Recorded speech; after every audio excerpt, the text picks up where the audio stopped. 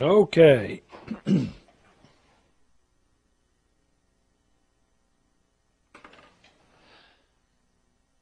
ought to be able to get the loads in these plates depending on how they're connected.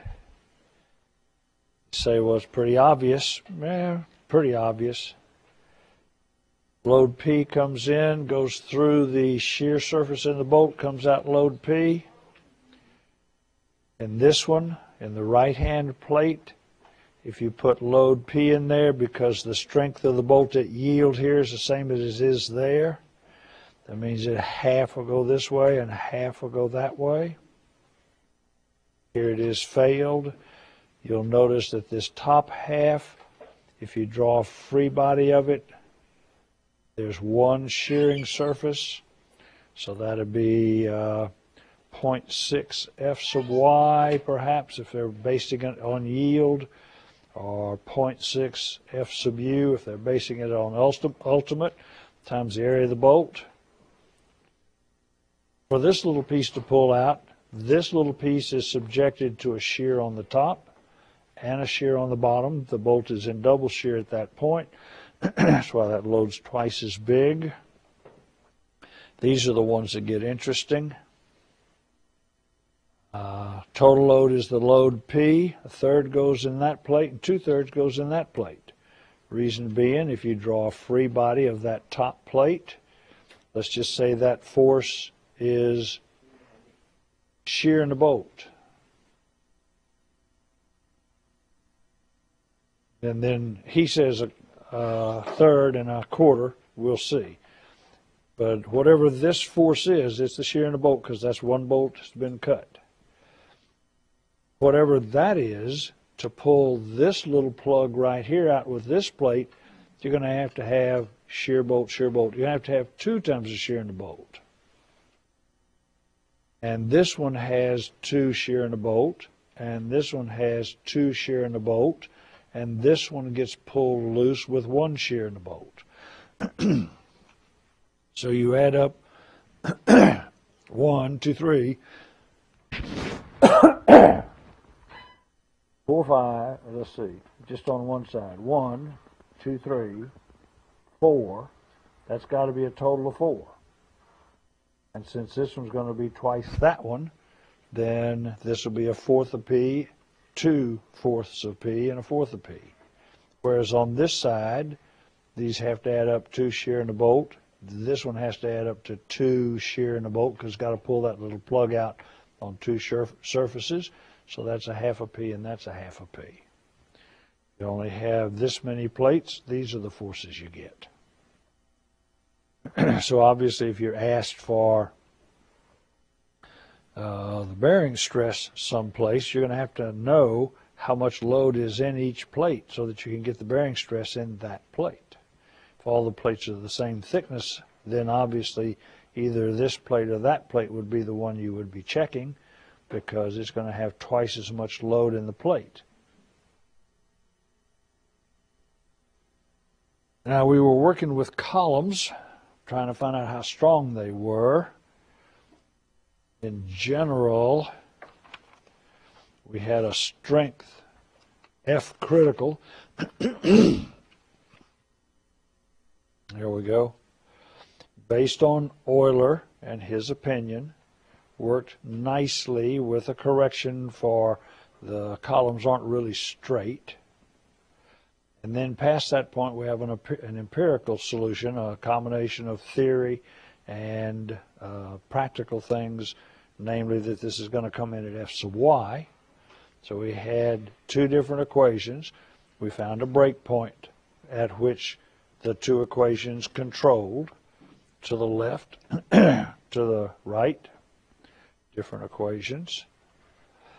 We had a bunch of tables that also were worked out for us. We had two basic tables so far. One of them would give you F critical based just on the strength of the steel and the KL over R for your, or the, yeah, the KL over R for your shape.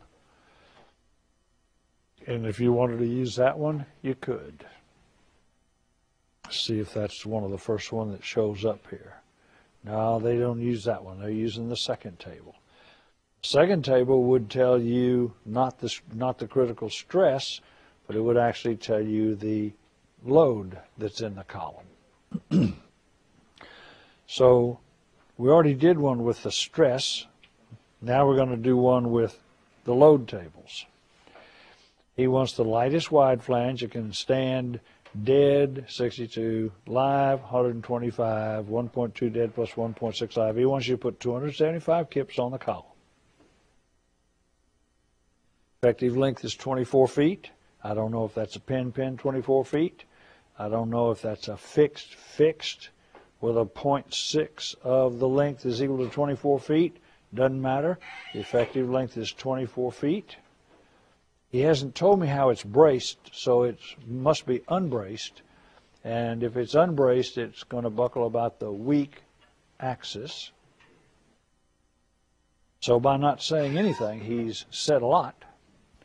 And he wants A992 50 KSI steel, any shape.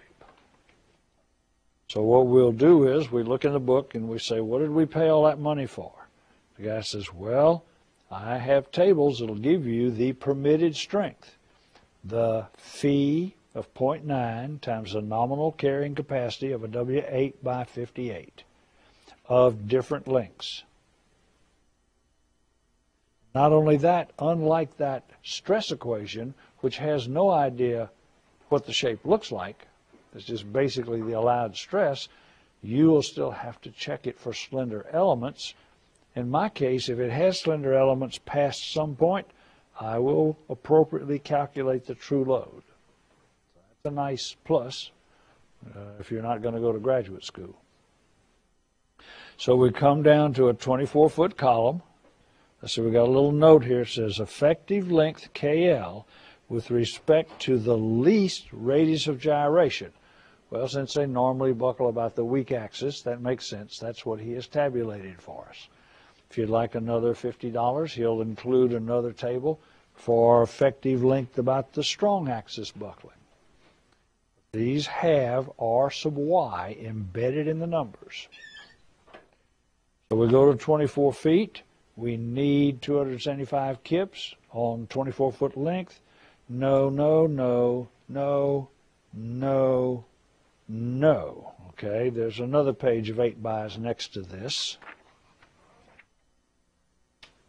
Here's the, oh, there are no, there are no more eights. That's all the eights. Okay, an eight by won't work. Now we'll see if some 10 bys. Here are our lighter shapes. We're going to start down light till we find something that works and we'll not go any higher. We need 275 kips on a 24. 275, no, no, no, yes.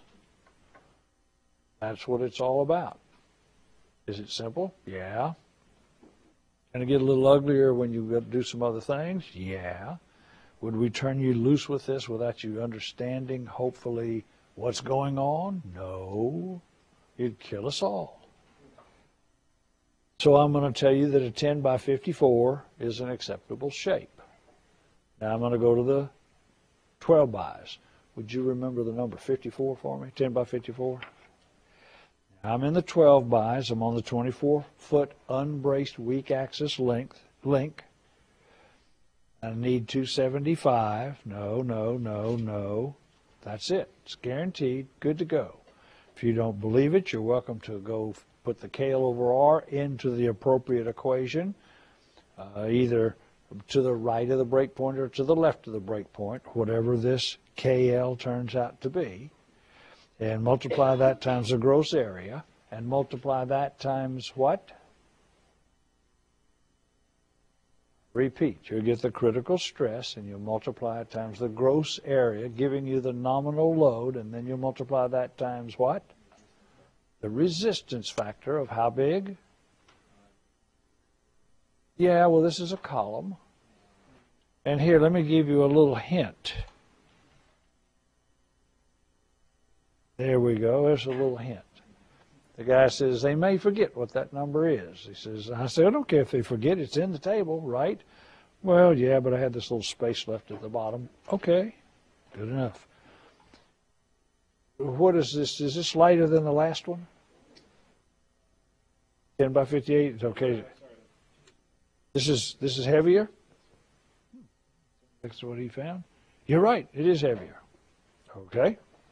Let's see if a 14 by is better. Looking for the same 275 on a 24 foot unbraced weak axis effective length? No, no, no. 275. Yes, even heavier. So as the column gets deeper, it's a lot better for a beam.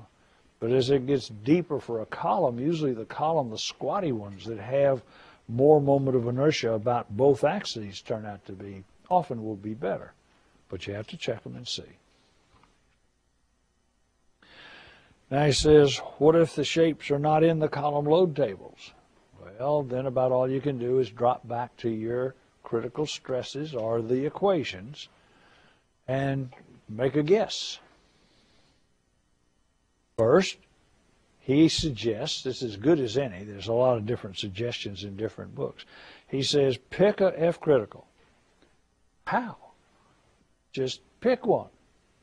Well, how about uh, 83?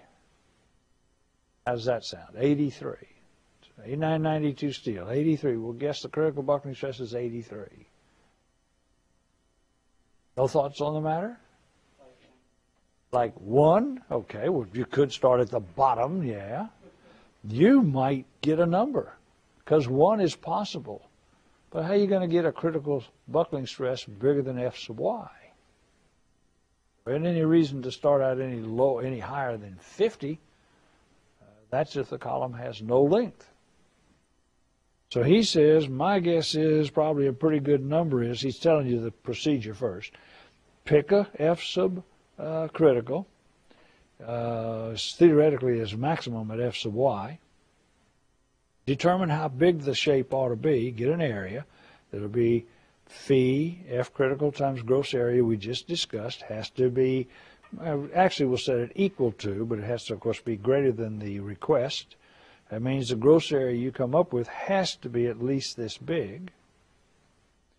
Then you go pick a shape that has that much area then you compute the truth, the real critical buckling stress for that shape. And if it's perfect, it's perfect.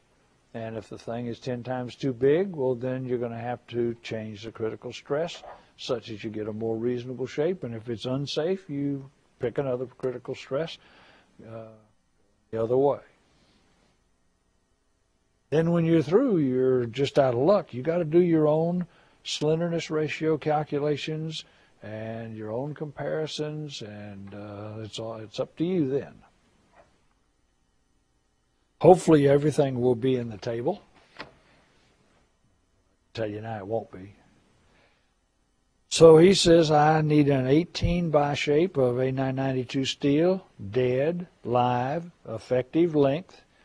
This is about the weak axis, and said otherwise, so I guess it is. So we ought to be able to use those tables as long as this is about the x the weak axis. Look in your tables, you see they go up to 14 bys, and then the 18 bys can be used as columns if that's what we're using in the area, but they're not that commonly used, and so he doesn't have them in the tables. There are no tables for them. So we pick the ultimate load he says, I'm going to go ahead and pick about two thirds of 50 KSI. I'm going to start at 33 and see what happens. And now then I have nothing new to tell you. This is identical to what you did before today, the last thing we did. You calculate the required gross area, load divided by 9 tenths of 33, 20.2 square inches of steel. He's going to try W18 by 71. He needs 20.2 He needs 20.2. Here are our 18 bys. Needs 20.2, 20.2. There's the first one, W18 by 71. Here's, uh, is that what he's trying? Yeah, that's where he got the first one from, because it was the lightest one that had the required 20.2 square inches of steel. Of course, is on page 1-20. This is in your properties of shapes. Page number should be listed. Here it is. So, now that we've decided to do an 18 by 71, I tell you, he's right. You can check these, these pages. It has, well, there it is, has 20.9 square inches.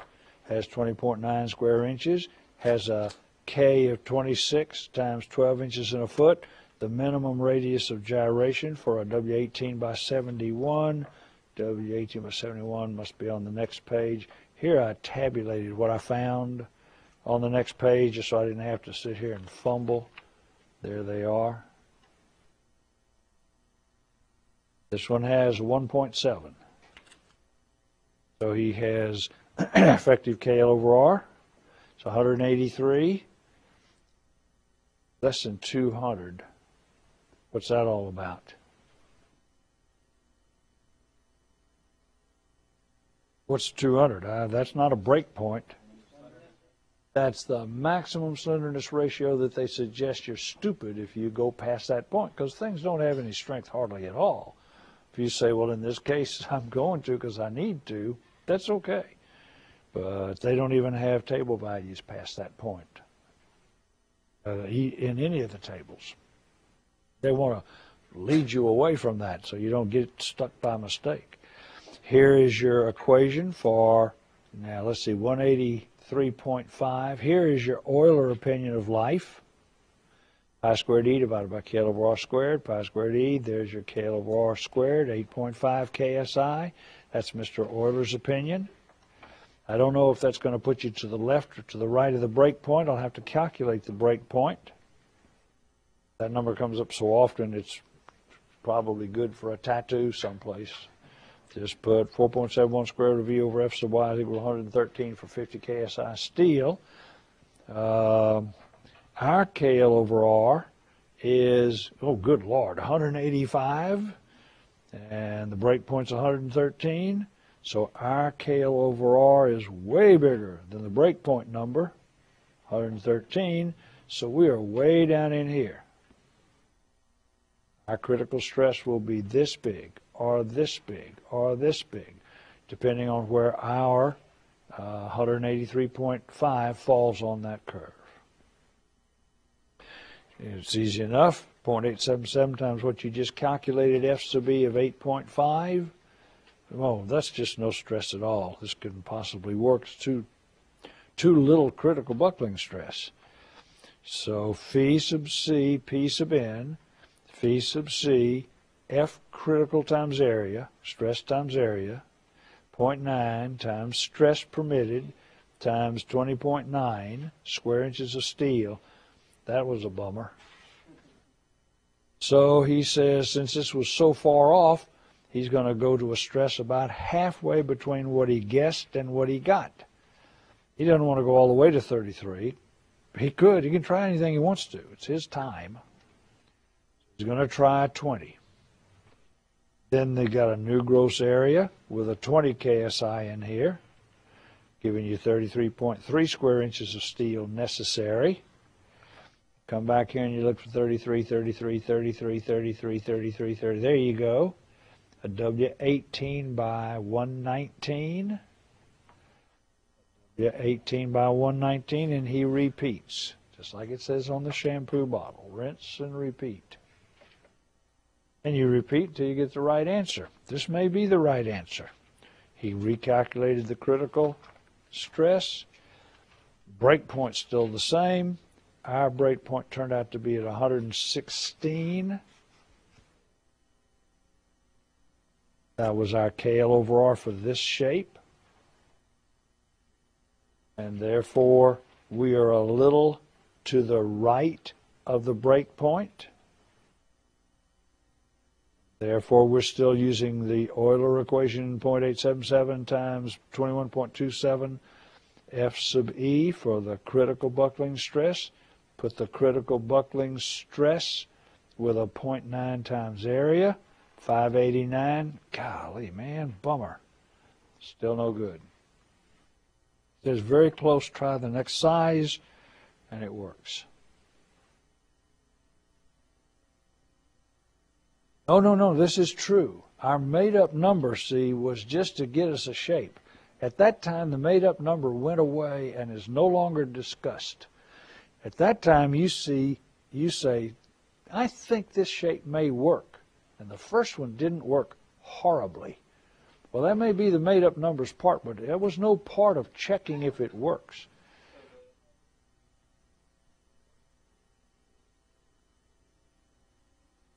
No, what you did was, yeah, you can start at anything you want to. You can start at 50. That'll give you a much smaller shape. That'll give you a little tiny shape. And then when you put the little tiny shape in there, you're going to get whatever you get for F critical, but it's going to have such a horrible slenderness ratio that it's not going to work. So you're going to say, okay, 50 was a bummer. Me, I said uh, 20 was a bummer. I forget what it was, but whatever we started with was really bad. So whereas I'm going to go for 20 up to 30, you're going to be coming from 50 down to 40. Go either way. It doesn't make a bit of difference. Because every time you make a guess to guess a shape, you're going to check that shape. And if that shape works, it's good. It's got nothing to do with the guess. The guess was just to lead you into getting a starting point or something to analyze. And that's what all design really is in general. Make a guess at something, then you check it. Down at the bottom, he says the, shape is, not slender because there's no footnote when you go to the dimensions table. There's our dimensions table. He says there's no C on here, so it's not got any slender elements. Then he said, so local buckling does not have to be investigated. You just did. You just investigated local buckling by looking at this thing and saying it doesn't have a C on it. Look at this one. That one needs to be investigated because you used a bad set of tables for F critical that didn't have slender element buckling taken into consideration. You have to do that on your own.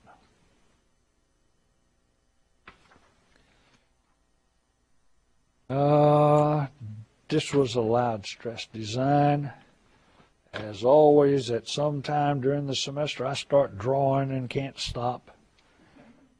So here is uh, case D, all nicely drawn out. Somebody asked, well, how could you really get such a thing? That's case D. Here's how you put the brace rod in there. So these things mean no translation at the top. Without the brace rods, it translates at the top. See the no brace? This one looks fixed. It really looks fixed. This one looks fixed. It's pinned. The plate will bend. Uh, the footing will bend. This is pinned.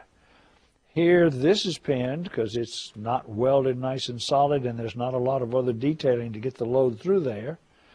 But dang, the plate's 18 inches thick and he's got 43 bolts on it on a 8 foot by 8 foot by 30 foot footing, why, you might call that fixed.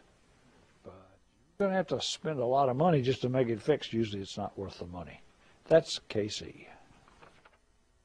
Here again is are the tables we can use. These are usually pretty good for single-story buildings. They're real good for multi-story buildings because as you go on up in there, these things aren't really fixed or pinned. They're attached to girders, and we'll get into that later on. Need that table. Here's the thing squats down with brace rods and a horizontal load. You notice it doesn't move enough to count for anything. Without the brace rods, it moves to the right. This buckles as a 0.7. Theoretical, practical 0.8. This buckles theoretically at a 2, fixed and pinned. And uh, when it's this way, I believe practical is also 2. It's upside down like this, and this is the ground, and that's the column, or the girder. I believe that's 2.1.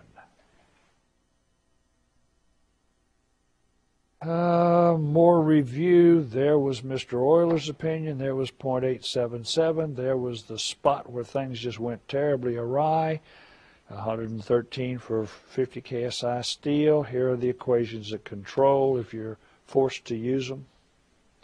You will be forced to use them for 56 KSI steel because your critical stress tables don't have anything but 50 KSI steel, 36 KSI steel, things they really make, on quizzes you find some very novel steels.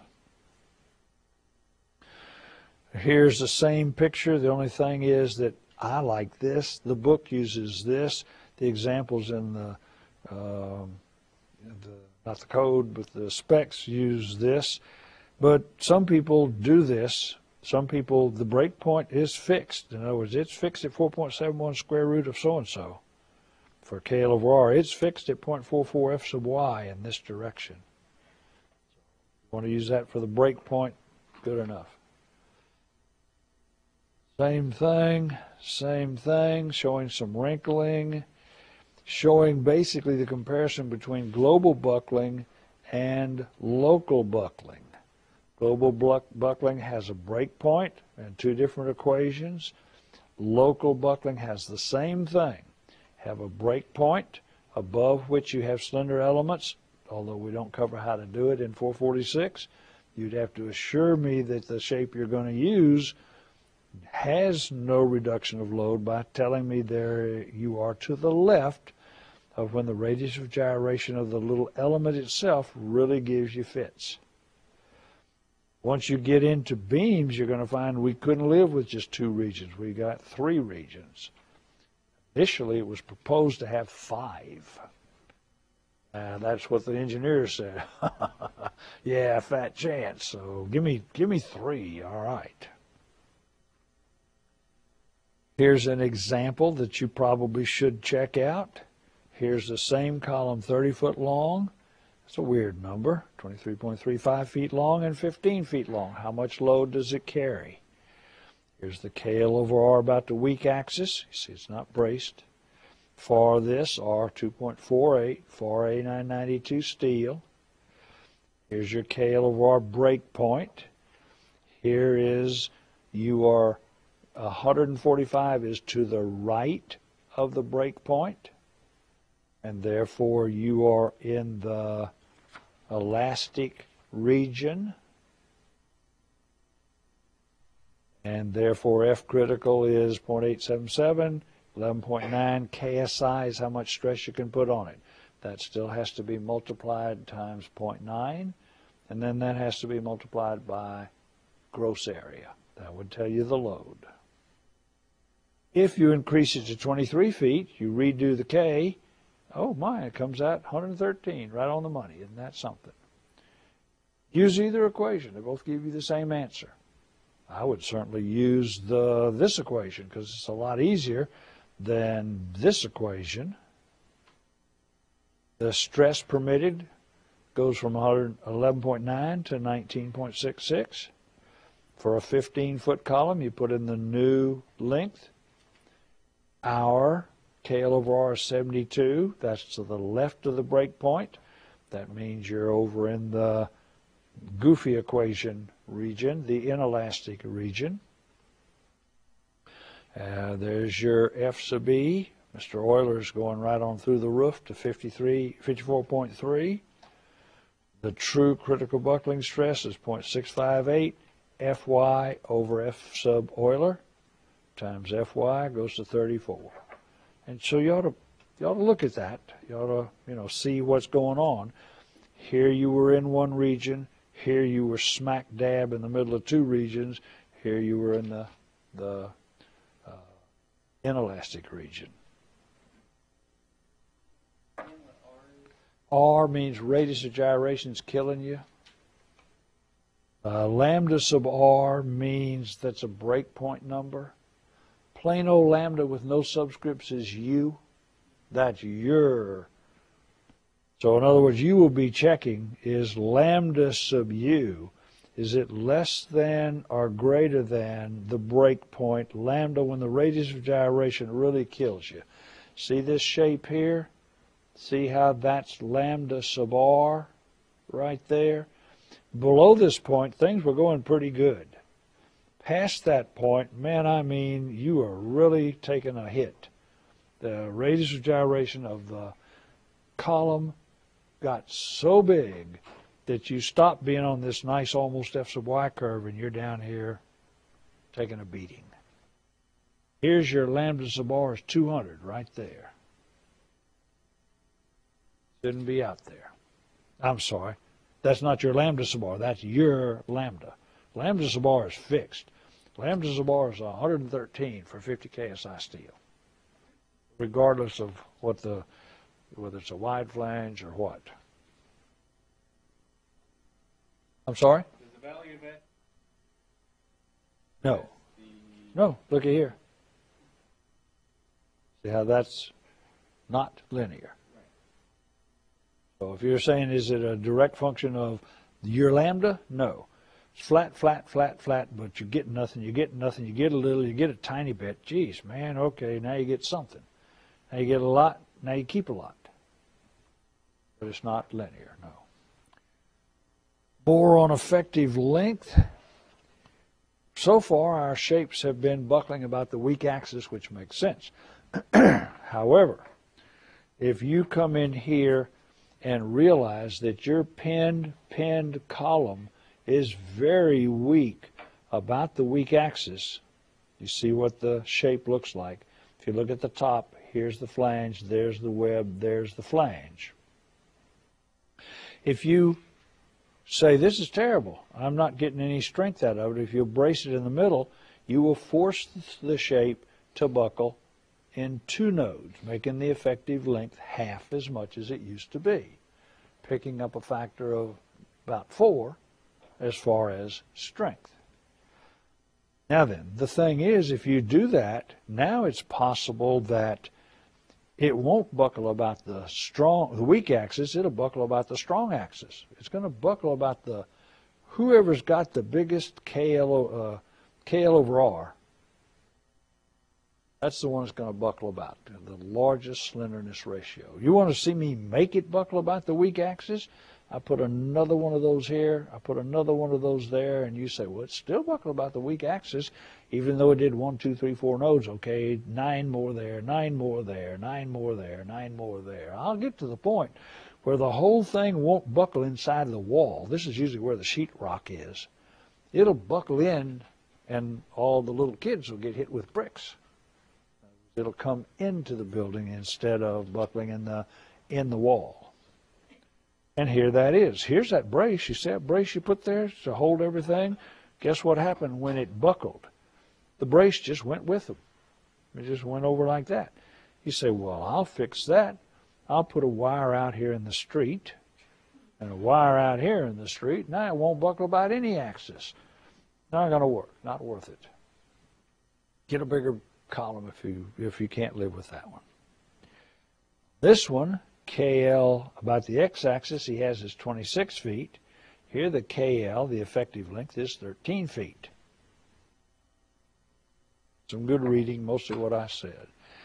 Here's a kind of a picture of it. That's a wire going down to the going inside the wall. It's forcing it to buckle out of the paper and into the paper, making it a shorter effective length.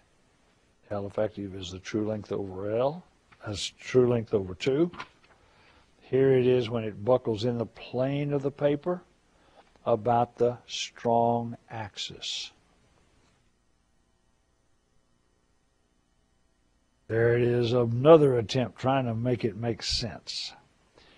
But the only thing I know is to go tear the sheetrock off of something and show you because it's hard to draw it. There you go, man. That took an hour.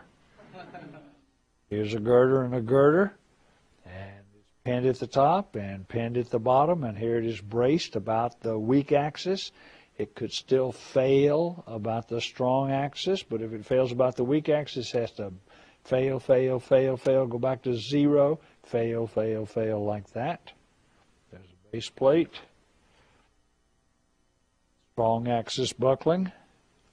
What we really need is we need like a picture of it drawn in 3D and get it on a computer and then where you could roll around and see this stuff. There it is buckling about the weak axis. So, example 4.9, he has a W12 by 58, 24 feet long, pinned at ba- ooh, braced in the weak direction. And it's braced at the third points. At every eight feet, he's got a brace.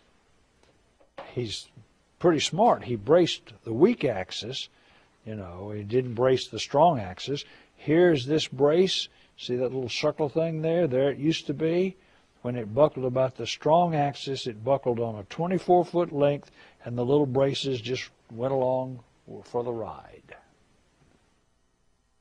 So that means that the KX about the strong axis is 24 feet long times 12 inches in a foot, X. The KY about the weak axis, they're only 8 feet long times 12 inches in a foot. The radius of gyration goes with the, the buckling axis. It's buckling about the x-axis, 5.28. Check it out. Look it up in the book. You shouldn't believe anything. That means that the slenderness ratio for buckling about the strong axis is 54.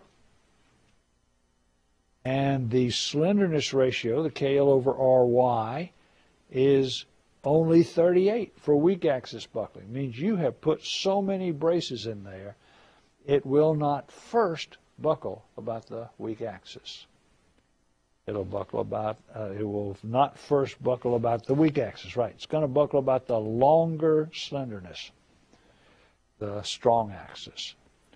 Once I know that, I don't even check this. There's no reason to put this number into the uh, critical stress equations. There's no reason to go look it up in the tables. Uh, this is the way it's going to buckle. So then again, I go and find out where I am with respect to, uh, oh no, he says, I was getting ready to go find the break point, find out which side I was on, and all that kind of stuff. He says, look, remember that table 422? I forgot about that. He says, go look it up you have a KL over R of 54.55. Here's where I got the R from. That's the gross area. You'll notice this particular shape has no slender elements. No slender, uh-oh. That one wouldn't be my first choice. Got slender column elements. It has slender elements as a column. This one down here has slender elements as a column and in flexure. We'll get into that later. All right. And there's where I got the radius of gyration strong and weak from that table. And here are my critical stress numbers. I'm going for a 50 KSI steel. I'm going for a 54.55 and 54 and 55 is between these two numbers. If I were you, I'd just, and I'm telling you, you can in this class, just go ahead and take the worst one. Don't go all the way up to 36.4 because that's not true. You can interpolate, but that's not the purpose of this class is to teach you to do that, nor for you to take that amount of time. They're reasonably close. Just pick the lower of them and say the strength is 36.1 KSI that's the uh, F critical. So he interpolates 36.24, 36.24. There's your 36.24. There's your, uh-oh, he forgot the phi. I'm sorry? It's built into, built into what? Oh, it's built into the tables. It's already there. How do you know that? Well, that's not fair. Prove to me that it's built into the tables. I see you looking at them, checking all my numbers. At the top of the column, that's exactly right. It says phi, F critical. Phi, F critical. And if you don't believe him, you know, if you're not sure what he used, then you look at the bottom and you see what phi is for use in that table. And therefore, that shape is good for 616 kips. No slender elements, so it's okay. If this thing that we now chose had slender elements, we would have to know how to do check the slender elements or forego the use of that section in this class.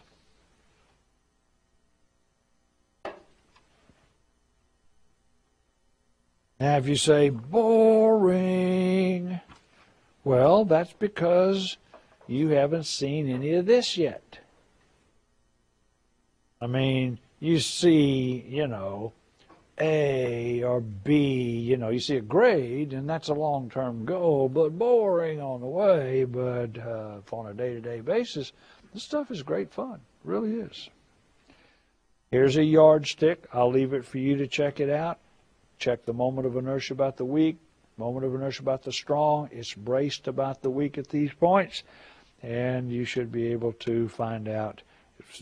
Strangely enough, the K over R for both of them turned out to be about the same, but this would still be the choice because it's bigger. Now, he says the available strength in these load columns are based on the effective length with respect to the weak axis. That's right. He warned us about that in the tables. See if I can find one right quick. He warned us that this was only good about the weak axis. So I won't use it for strong axis. That's quite obvious. Don't use it for strong axis. He says, well, not quite that simple. You remember how you got that answer? Yeah, I used a KL over R. He says, and you divided your KL by R sub Y. And I, I did indeed. And says, and then we used one of the appropriate equations to calculate the critical. Um, yes, that's true. That's what we did. And then we got the strength. He says, if I take the R sub Y back out of that calculation uh, by dividing the true KL by Rx over Ry, basically you're putting the R sub Y back R sub Y and dividing by R sub X, he says you get a phony KL. Yes, I, you would indeed. It wouldn't, wouldn't mean anything to me. He says, don't give up just yet. He says if you do that, if you take the R sub Y back out and put the R sub X in to the equations, you'd get the right answer. I said, well, yeah, but that's not what you did in the tables. He says if you will take the kx sub L and divide it by the Rx R sub Y, you will get a K, which won't make any sense, but which you, if you enter it in the table, in effect you have taken the R sub Y back out and put in R sub X, you will get the right answer. I don't believe any of this. That guy's nuts. What's he smoking? I don't know. He says, well, give it a try. Just give it a try. See, you'll like it. Just give it a try. I It's okay. Got a compression member shown so-and-so, pinned both ends, supporting the weak and at mid-height. Okay, this thing is going to either buckle 9-foot weak axis or 18-foot strong axis. He says got to have a service of 400. That service is just dead plus live or whatever, just the sum of the loads. That's what they call a service load equal dead and equal live. So half is dead, half is live. 50 KSI steel, wants the lightest shape. Great, I'm ready to go. 200 dead, 200 live, 1.2 dead, 1 point live. I need 560 kips. Get out of the way. Give me my tables. I need 560 kips. It says assume the weak axis controls and enter the column load tables with 9 feet. Okay, sounds good. Beginning with the smallest shape, Nine feet need 560. Let me check this out. This is, those are the, that's the other table. There's a nine feet. I need 560. Now notice I cross these out so I don't get accidentally get some allowed stress. Starting with 8B, I need 560. No, no, no. Been here before. There you go. That'll work. Uh, if it buckles about the weak axis, I get 634 kips.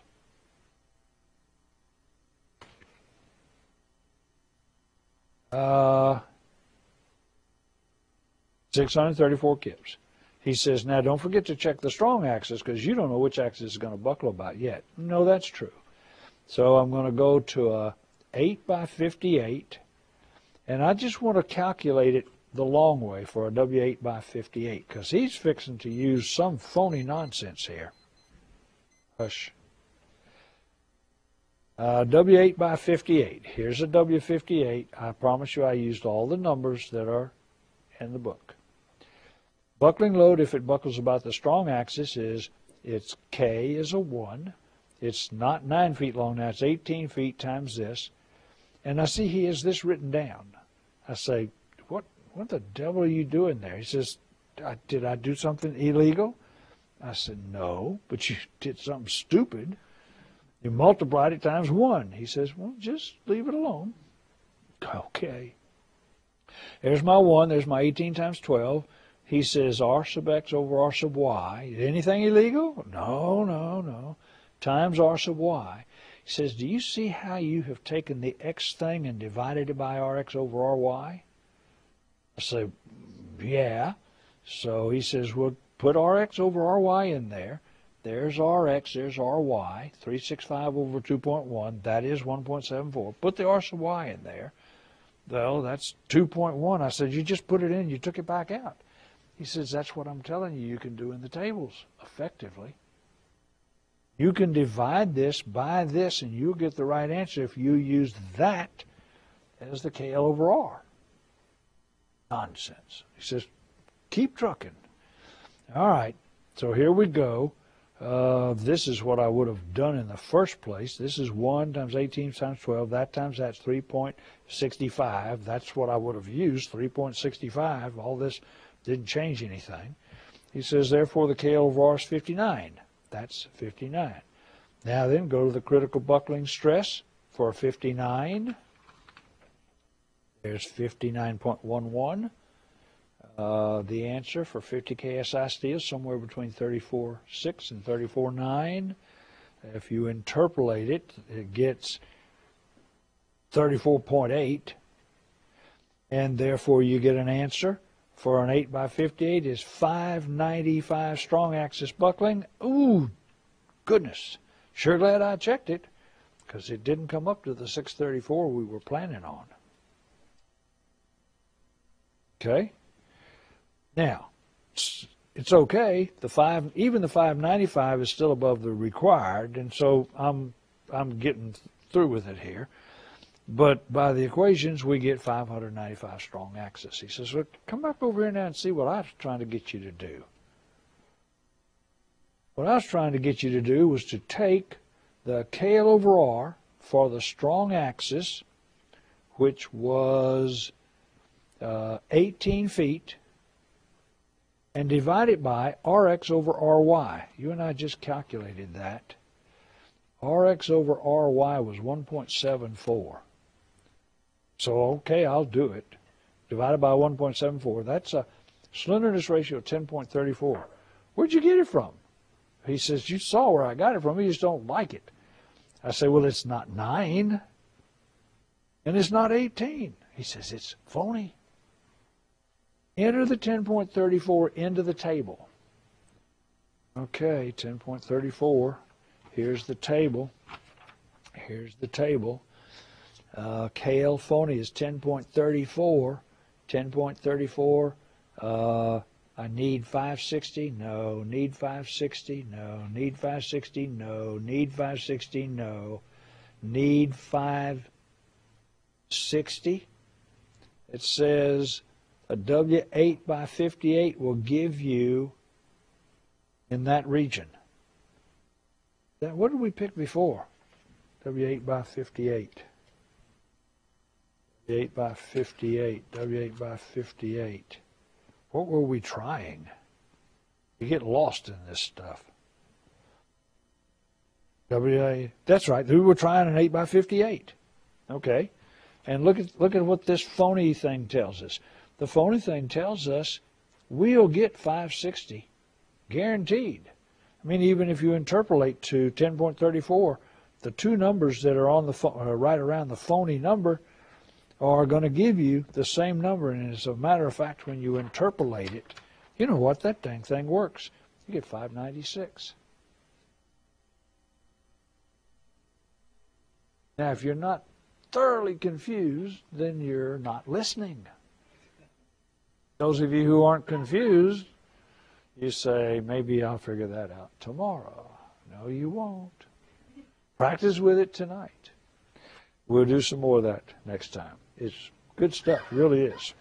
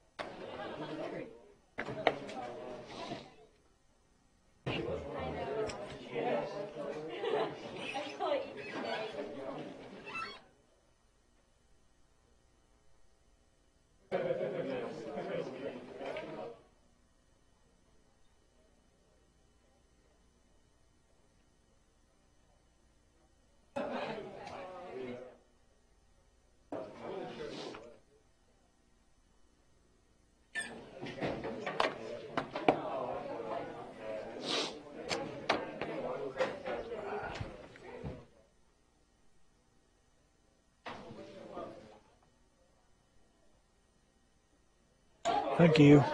Hey. You too.